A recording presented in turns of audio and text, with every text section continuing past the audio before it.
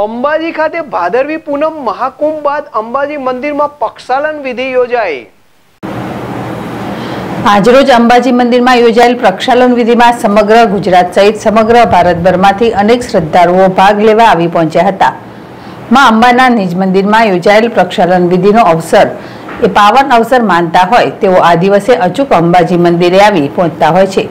તો એકસો નેવું વર્ષથી અમદાવાદના એકસોની પરિવાર દ્વારા માં અંબાના આભૂષણોની સાફ સફાઈ કરવામાં આવે છે અને સફાઈ દરમિયાન સોનામાં થતી ઘટને નિવારવા માટે સોનાનું દાન પણ આ સોની પરિવાર દ્વારા કરવામાં આવે છે.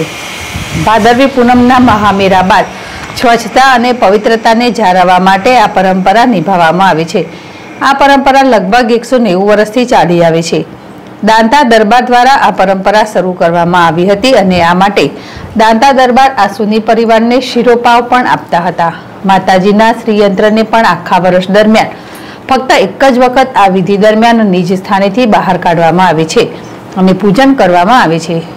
પ્રક્ષાલન વિધિ દરમિયાન જિલ્લા કલેક્ટર અને જિલ્લા એસપી પણ મંદિરમાં હાજર હતા.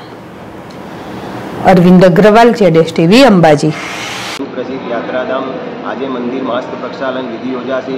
આ પ્રક્ષાલન વિધિ એટલા માટે કરવામાં આવે છે કે ભાદરવી પૂનમના મેળા દરમિયાન લાખો પદયાત્રીઓ આવતા હોય છે અને મંદિરની પવિત્રતા ઘણીવાર જાળવી નથી શકતા હોતા. તેના માટે આ મંદિરની હસ્ત પ્રક્ષાલન વિધિ યોજવામાં આવે છે. મંદિરની અંદર ગર્ભગૃહમાં હસ્ત પ્રક્ષાલન વિધિ યોજવામાં આવશે દોઢ વાગે અને રાતની જે આરતી છે એ સાંજની છે લગભગ રાત્રે નવ વાગે કરવામાં આવશે. અને વિશેષમાં કહીએ તો સોનીઓ દ્વારા પણ આભૂષણોની